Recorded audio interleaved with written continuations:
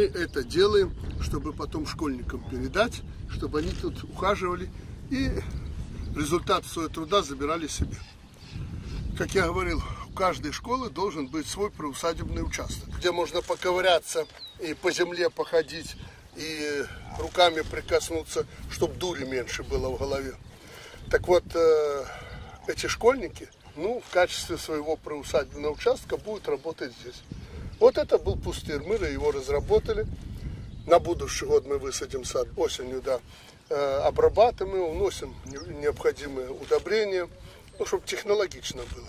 Точно так и здесь. Вот это были крестьянские усадьбы. Вот так вот от дома сюда. Но это уже дача сегодня, мало кто живет. Здесь вот наследники живут. Они огородик себе вырезали, мы им огородили все. А остальное, чтобы не пропадало, решили отдельными сортами высадить яблони.